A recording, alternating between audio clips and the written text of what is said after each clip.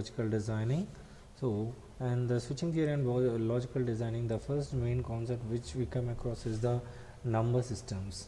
Whenever the word number systems comes into your mind then the first number system which strikes our mind is the decimal number system. So decimal number system why the name decimal is given means uh, it is having the total number 0 to 9 as we are familiar with our decimal number systems is there how to define a number system. We need to concentrate on how to define a number system. So whenever we talk about a number system we simply remember that the number system is a basic for counting the various items. So when we are thinking that the number system is a basic for counting the different items uh, we need to have a proper definition to define a number system. How to define a number system now? So these number systems before these are identified as digits. They are actually the symbols. So now a number system is defined as ordered set of symbols known as digits which perform arithmetical calculations with well defined rules. This is how we are going to define our number systems. So based on the different applications my number systems which are commonly used uh, is the decimal number system binary number system octal number system and hexadecimal number system. So each and every every number system is having a base. So for example if you take the decimal number system the base is 10 and for a binary number system the base is 2 and for your octal number system the base is 8 hexadecimal number system the base is 16 so a decimal number system why the base is given as 10 because the total number of digits which are present in that particular number system is 10 so that's why we are given the base of that number system as 10 and whereas coming to the binary number system the base is 2 so the total number of digits which are present in that particular number system are 2 and coming to octal the base is 8 uh, total number of digits which are present in that system are 0 to 7 the total number is 8 and coming to hexadecimal number system uh, the base is 16 so the numbers which are present in this system are 0 to 9 and a to f. Total 16 numbers are present. Uh, alphabets 10 alphabets uh, sorry 5 alphabets and 10 digits. That's why it is called as hexadecimal uh, number system.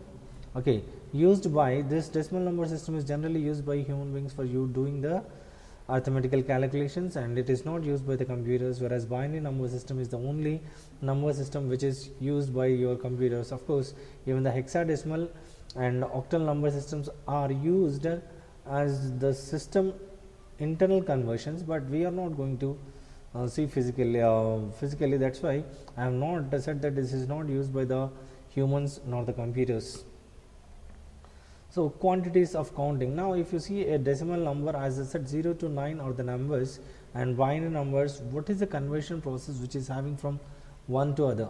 So if you observe here from 0 to 6 and in octal 0 to 7 decimal 0 to 7 and decimal, uh, hexadecimal 0 to 7 these three number systems are having the same numbers and the binary number system as it is having only two numbers which are common with all other number systems the remaining number starts with the combination of 0 and 1 if you see like this we have so many combinations from 8 to 15 if you see the combinations of zeros and ones are giving the equivalent number in other number systems like octal even the hexadecimal also.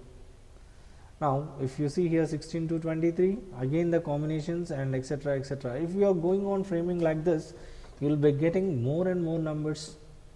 Now let us see how you got previously all those numbers once that is only uh, possible because of the conversions among these pieces.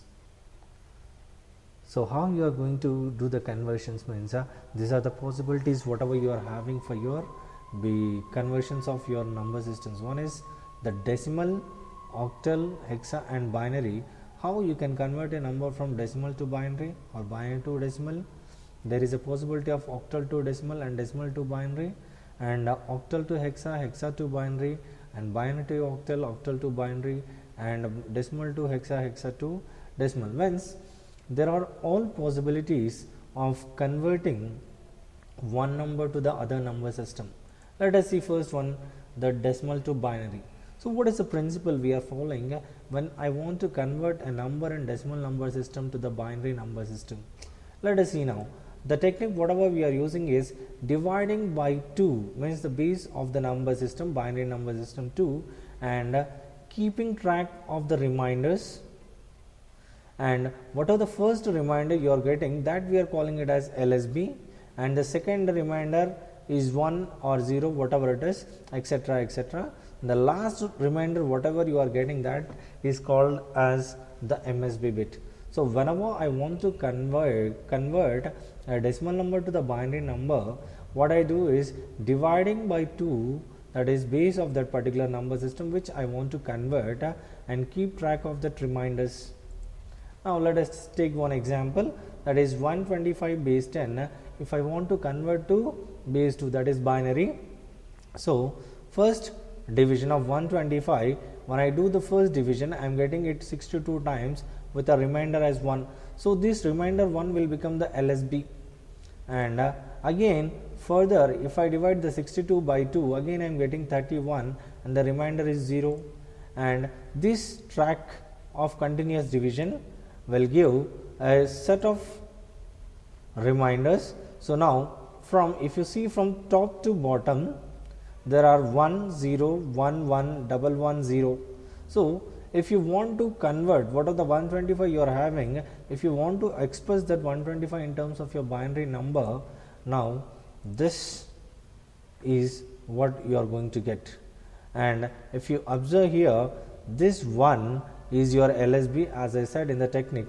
And this one will be the MSB why we are ignoring this one means the 0 which is there on the left side of your number the positive integer part it is not having any value.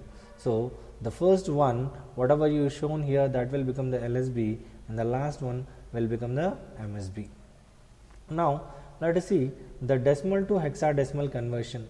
So, how we have used the, the convert from decimal to binary the same thing we are going to use for decimal to hexadecimal. Here we are going to divide the technique what we are going to use is we are going to divide the given number with a base 16 to get the hexadecimal number.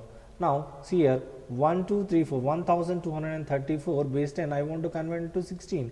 So, I am dividing it by 16 and keep tracking of your reminders. Again 16 if you divide the 77 with 16 you are getting 4 and remainder is 13. But according to my hexadecimal number system the 13 is nothing but d equivalent to d and so the answer whatever we are going to get here is that is 4d2 base 16 4d2 base 16 because the 0 is ignored because as it is in the MSB part of your integer. So, the value of uh, if you are placing a 0 in the MSB part of an integer then the 0 is having no value. So, next one is decimal to octal the same principle. So, dividing by 8 and keep tracking of the reminders now, see the example 1234 base 10 if you observe if I want to convert to octal again I am dividing by 8 and uh, keep tracking of the reminders. Yes, the first one will become the LSB and the last one will become the MSB.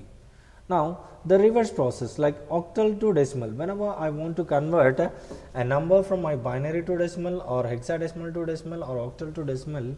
So, what is happening here is I am multiplying each and every bit by the position of your right where n is the weight of that bit. Means suppose if have uh, we'll think uh, we'll take an example.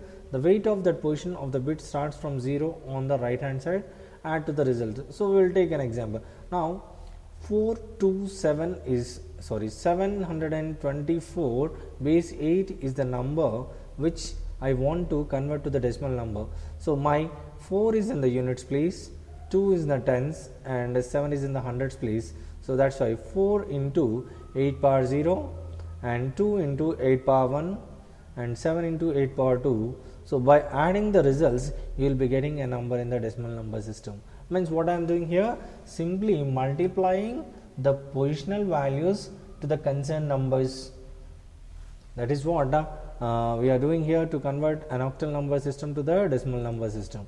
Now, even the hexadecimal number system will play the same role multiplying by the positional values with the powers of 16 uh, that will give the hexadecimal to the decimal number system conversion. Let us take ABC base 16. Now, C is in units place, B in tens place and uh, C is in the hundreds place. So, C into 16 power 0, B into 16 power 11, uh, 1 and A into A into 16 power 2. So, 12 into 1 and this B is equivalent to 11 into 16 and A is 10 into 256. The total answer is 207 2748 B is 10. Now, binary to decimal as the base of my binary number is 2. So, now I will be multiplying with the positions of 2 to get the result. So, this is the number binary number. So, 1 into 2 power 0, 1 into 2 power 1 so on the number from your LSB to MSB I am doing and finally if I add I am getting the number as 43 base 10.